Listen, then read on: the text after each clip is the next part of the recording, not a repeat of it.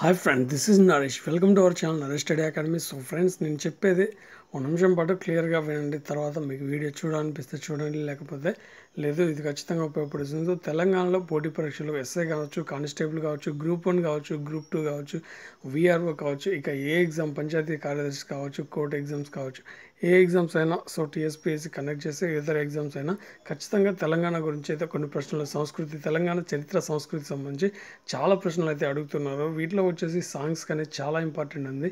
So వాటికి సంబంధించిన video అనేది నేను ఆల్రెడీ చేయడం జరిగింది. సో వీటిలో కూడా మనము కమ్యూనిటీలో కూడా కొన్ని క్వశ్చన్స్ అయితే అడుగుతూ ఉన్నాను. అక్కడ కొంతమంది రాంగ్ ఆన్సర్ చేస్తున్నారు. సో ఎక్కువ మంది సెలెక్ట్ చేసింది కరెక్ట్ ఆన్సర్ అనుకుంటే అది పొరపాటు అవుతుంది. కాబట్టి ఇక్కడికి వచ్చేసి కొన్ని సాంగ్స్ అనేవి మీకు ఇవ్వడం జరుగుతుంది.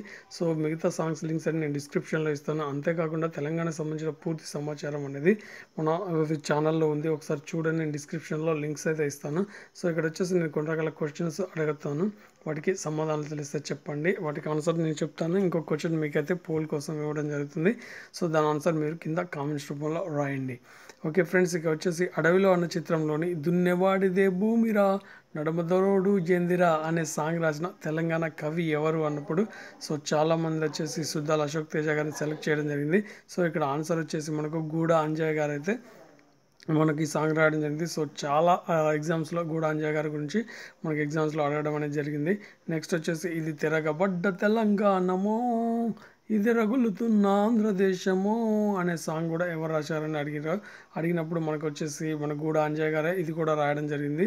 సో చాలామంది అయితే గూడ అంజయ్ గారిని వదిలేసి వేరే ఆప్షన్ సెలెక్ట్ చేస్తూ ఉన్నారు. కాబట్టి కాదు ఇది వచ్చేసి గూడ అంజయ్ గారు రాశారు. సో వారి గురించి పూర్తి సమాచారం అనేది మీకు కావాలంటే నెక్స్ట్ వీడియోలో ఆయన రాసిన సాంగ్స్ ఆయన ఎక్కడ పుట్టారు ఆయన ఏం చదివారు అనేది కూడా అడుగుతూ ఉన్నారు అనమాట సో ఇక్కడ లాయర్గా పనిచేసింది లేకపోతే టీచర్గా పనిచేసింది రకరకాలు అడిగినప్పుడు మనకు ప్రాబ్లం అవుతుంది.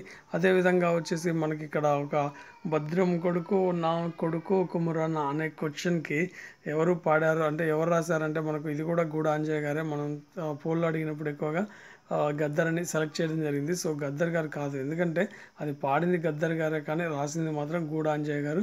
సో ఈ చిత్రం వచ్చేసి మనకు రంగుల కళ చిత్రంలోనిది ఇది. సో ఇది వచ్చేసి రంగుల కళ చిత్రంలో ఉన్న సాంగ్. దీన్ని కూడా అడుగుతాం జరుగుతుంది. సో ఈ సాంగ్ అనేది ఏ మూవీలోది అన్నప్పుడు కూడా అడుగుతారు. అదేవిధంగా సాంగ్ సంబంధించిన మ్యూజిక్ డైరెక్టర్ లేదా డైరెక్టర్ తెలంగాణ వాళ్ళు అయితే ఆ క్వశ్చన్ కూడా అడగడం అనేది జరుగుతుంది. ఒకసారి మన పోల్స్కి సంబంధించిన ప్రశ్నలు అయితే చూద్దాం. సో ఫ్రెండ్స్ మన పోల్స్కి సంబంధించిన ప్రశ్నలు చూడాలంటే ఈ విధంగా ఛానల్కి వెళ్ళిన తర్వాత ఇక్కడ నా ఛానల్ కాబట్టి ఈ విధంగా వచ్చింది. మీకు అక్కడ కనిపిస్తుంది నా ఛానల్లో కమ్యూనిటీలోకి వెళ్ళండి. సో కమ్యూనిటీలోకి వెళ్ళినప్పుడు ఈ విధంగా వస్తుంది.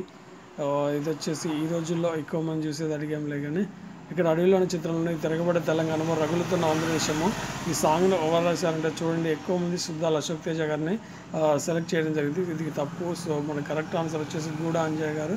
సో దీన్ని రాసింది కూడా అని చేయగలరు సో ఈ విధంగా మీరు అంటే రాంగ్ ఆన్సర్ కూడా రాయడం జరుగుతుంది. సో నెక్స్ట్ వచ్చేసి భద్రం కొడుకు నా కొడుకు కుమరన్న అని ఇందాక చెప్పుకున్నాం కదా.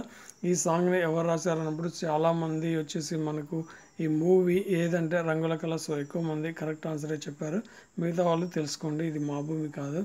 నెక్స్ట్ వచ్చేసి ఇంకో క్వశ్చన్ చూద్దాం. ఇక్కడ చూడండి. భద్రం కొడుకు నా కొడుకు కుమరన్న ఇందాక అడిగాం కదా. సో ఇది ఎవరు రాశారంటే గూడ అంజయ్ గారు. సో పోల్స్ అయితే మారే మొన్నటి వరకు ఎక్కువ ఉండే. సో ఫిఫ్టీ వర్డ్స్కి వచ్చినప్పుడు కరెక్టే రాశారు గూడ అంజయ్ గారు. నెక్స్ట్ ఇక్కడ చూద్దాం. అయ్యోని వారు నువ్వు అమ్మోను అన్నప్పుడు ఈ సాంగ్ కూడా మిట్టపల్లి సురేంద్ర గారిని సెలెక్ట్ చేయడం జరిగింది. సో ఇదైతే తప్పు. సో దీనికి కరెక్ట్ ఆన్సర్ వచ్చేసి గూడ అంజయ్ గారు దీన్ని రాయడం అయితే జరిగింది. సెవెంటీ సిక్స్లో మనకు ట్వంటీ ఫోర్ పర్సెంట్ మాత్రమే గూడ అంజయ్ గారిని సెలెక్ట్ చేశారు. మిగతా వాళ్ళు మిట్టపల్లి సురేంద్ర మిట్టపల్లి సురేందర్ తప్పు. రాతి బొమ్మల్లో ఉన్న కొలువైన శివుడు ఆ అయితే ఆయన రాయడం జరిగింది వారు. నెక్స్ట్ వచ్చేసి ఇక్కడ చూద్దాం ప్రజల్లో నిజాం వ్యతిరేక ప్రజల్లో నిజాం వ్యతిరేక భావన తొలగించడానికి ఏ బీబీసీ పాత్రికేయుని హైదరాబాద్కి పిలిపించారంటే మనకు వచ్చేసి పిలిపించింది విలియం రష్ముక్ని. సో విలియం టేలర్ అనేది తప్పు. ఎందుకంటే చాలామందికి తెలిసిన నేమ్ ఇది కాబట్టి సో దీన్ని ఎక్కువగా సెలెక్ట్ చేయడం అనేది జరిగింది. నెక్స్ట్ వచ్చేసి ఉద్యమం నిలబాడు పుస్తక రచయిత ఇది చాలామంది కలెక్ట్ చేశారు. కేజీ సత్యమూర్తి గారు. This is right answer seventy ఫైవ్లో తెలంగాణలో కొత్తగా ఏర్పాటు చేస్తున్న వైద్య కళ సారీ ఏర్పాటు చేయబోతున్న వైద్య కళాశాలతో కలిపి తెలంగాణలో మొత్తం వైద్య కళాశాలల సంఖ్య ఎంత అంటే నలభై అనమాట ఓకే ఇది కరెక్ట్ ఆన్సర్. నెక్స్ట్ వచ్చేసి ఇది జాబ్ అంటే గుర్తొచ్చేది. హైదరాబాద్ మాత్రం మిగతా జిల్లాల పరిస్థితి జాబ్ విషయంలో దారుణంగా ఉంది అంటే అవునా కాదంటే అవును ఇది correct hundred percent correct ninety six percent correct అన్నారు. హైదరాబాద్ తర్వాత తెలంగాణలో అభివృద్ధి పదంలో ఉన్న మరో జిల్లా చూసుకుంటే సిద్దిపేట. ఇది కరెక్టే. మిగతా ఈ జిల్లాలను కరీంనగర్ చూసుకున్నా లేదు వరంగల్ చూసుకున్నా లేదు ఖమ్మం చూసుకున్నా లేదు సిద్దిపేటలో ఎక్కువ అభివృద్ధి అనేది జరుగుతూ ఉంది. ఓకే సో ఫ్రెండ్స్ ఈ విధంగా వచ్చేసి భారతదేశ అలెగ్జాండర్ ఓవర్ అన్నప్పుడు మనకు ఎక్కువగా సెలెక్ట్ చేసింది Alauddin Khilji. So this is right answer. ఈ విధంగా మీరు స్పోర్టివ్గా ఉండండి. సో నెక్స్ట్ వచ్చేసి ఇండియన్ అక్బర్ కాదా? నెక్స్ట్ ప్రశ్న వచ్చేసి తెలంగాణ భగత్ సింగ్ ఎవరు అనేది కింద కామెంట్స్లో వచ్చే చెప్పండి. తెలంగాణ భగత్ సింగ్గా మనం ఎవరిని పిలుచుకుంటాం అనేది కింద కామెంట్స్ రూపంలో రాయండి. థ్యాంక్ యూ మీకు ఈ వీడియో నచ్చితే లైక్ చేయండి. మరి తప్పకుండా షేర్ చేయండి. థ్యాంక్ యూ మీ విలువైన సూచనలు కింద కామెంట్స్ రూపంలో రాయండి.